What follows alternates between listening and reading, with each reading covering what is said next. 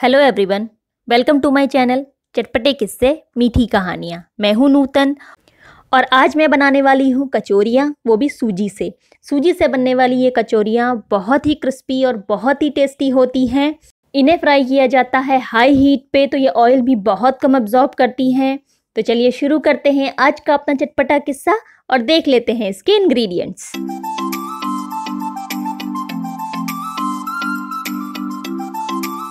सबसे पहले मैंने गैस स्टोव पे ले लिया है दो कप पानी। इस पानी को हमें बॉईल करना है। इसमें मैंने ऐड कर दिया है तेल। कोई भी तेल आप इसमें ऐड कर सकते हैं। अब मैं इसमें ऐड कर रही हूँ थोड़ी सी अजवाइन और साथ में स्वाद के अनुसार थोड़ा सा नमक। अब इन सारी चीज़ों को मैं कर देती हूँ मिक्स। और मिक्स करने के बाद हमें वेट करना है इस पानी में अच्छे से बॉईल हो आने का। देखिए, कुछ देर के बाद पानी उबल रहा है। इस समय पे मैं इसमें ऐड कर रही हूँ एक कप सूजी। ध्यान रखिए, जितनी आप सूजी ले रहे हैं, उसका दुगना ही आपको पानी लेना है। और सूजी डालते ही आपको इसे तुरंत चलाना शुरू कर देना है, वरना सूजी में गुठलियाँ पड़ जाएँगी। तो इसे तब तक चलाते रहें, जब तक सूजी एक डो के फॉर्म में ना आ जाए। मैंने यहाँ पे नॉर्मल सूजी ली है, जो बहुत सारे ब्रांड्स में आजकल मार्केट में अवेलेबल है। खुली सूजी इसके लिए ना लें, वो कई बार पतली या मोटी हो सकती है। देखिए, सूजी को हमें कंटिन्यूसली चलाते रहना है जब तक सूजी सारा पानी अब्जॉर्ब करके एक डो के फॉर्म में ना आ जाए।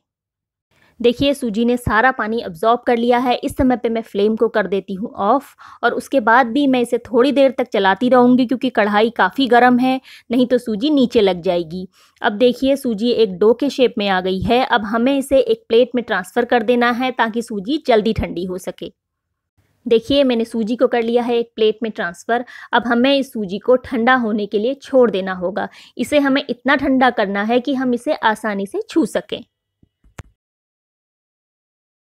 देखिए, इस समय पे सूजी ठंडी हो चुकी है। मैं अब इसे आटे की तरह नीट करके इसे चिकना कर लूँगी। इसे बाइंड करना होगा हमें, जैसे हम आटे को गूँथते हैं, बिल्कुल वैसे ही, अपने हाथों की मदद से। मैंने सूजी को बाइंड करने के लिए ऑयल या पानी का यूज़ नहीं किया है। इसी तरह से मैं हाथों से इसे नीट कर चुकी हूँ। अब मैं कर लेती हूँ आगे की तैयारी। मैंने यहाँ पे ले लिए हैं कुछ मीडियम साइज़ के आलू और थोड़ी सी मटर।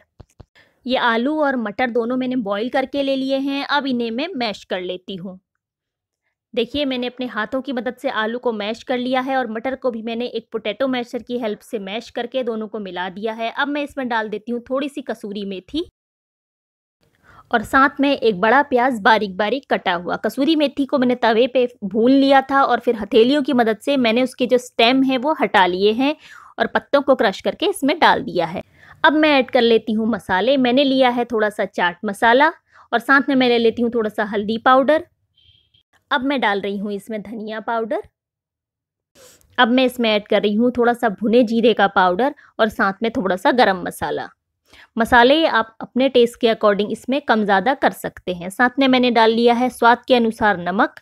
अब मैं इसमें डाल रही हूँ थोड़ी सी कटी हुई हरी मिर्च। आप चाहें तो लाल मिर्च पाउडर का यूज़ भी कर सकते हैं। अब मैं इन सारी चीज़ों को कर लेती हूँ बहुत अच्छे से मिक्स देखिए मैंने सारी चीज़ों को मिक्स कर लिया है। अब हम बना लेंगे कचौरियाँ।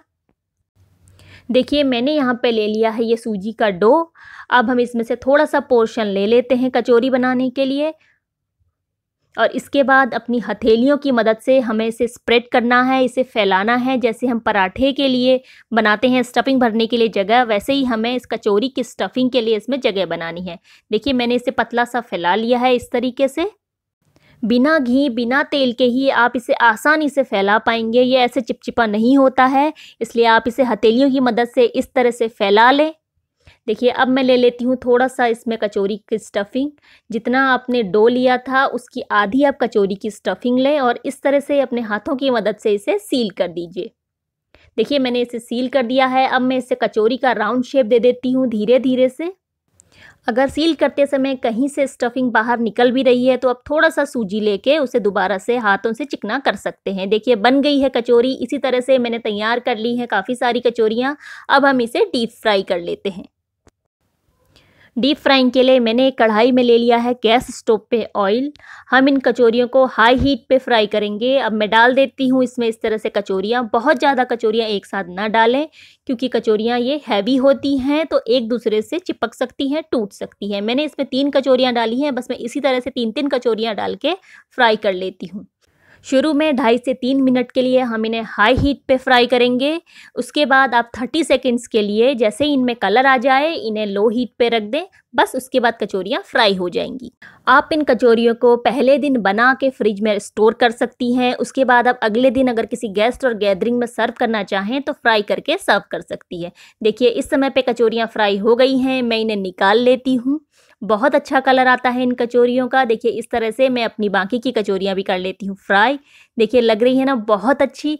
ये कचौरियाँ बहुत कम ऑयल एब्जॉर्ब करती हैं और बहुत टेस्टी होती हैं। मैदे की कचौरियों से काफ़ी ज़्यादा हेल्दी भी हैं। तो आप भी इन कचौरियों को बनाइए, खाइए, खिलाइए। मैं मिलती हूँ आपसे अपने नेक्स्ट वीडियो में। तब तक के लिए बाय